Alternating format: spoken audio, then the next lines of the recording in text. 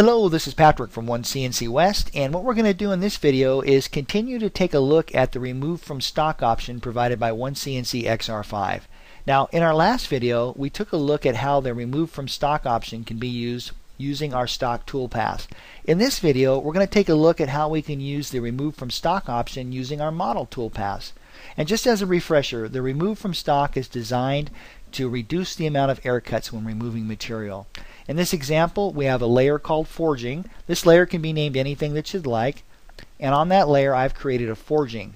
So that's the material that I want to take into account for. More specifically, that's the shape I want to take into account for when I start removing material. Now we don't even need to have this turned on to use it, so I'm going to turn that layer off. Let's head over here to the main toolbar. And underneath the CAM category, this time we're going to select Model Toolpaths.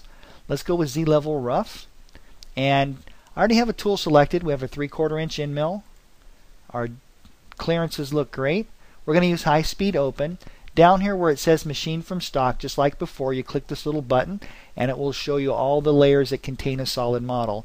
This is the layer that we want to take into account for the forging layer. And again, it doesn't have to be named forging. It could be named anything that you'd like, but I'm going to say that looks good. All that looks fine. We're still going to take 100 thousandths depth of cut. We'll use the extents. That's fine. We'll click next. All that looks good. We'll let it generate the toolpath. All right, let's backplot our toolpath. And just like before, what we'll do is we'll change our views to a, a left view. So spacebar and left view here. That looks good. And let's bring our forging layer back on. And just like before, what we'll do is we'll change our display to transparent. And you can see now that the toolpath has definitely taken into account the shape of our forging. As I rotate this around, you can see that it's also done so, uh, done so in this lower right hand corner.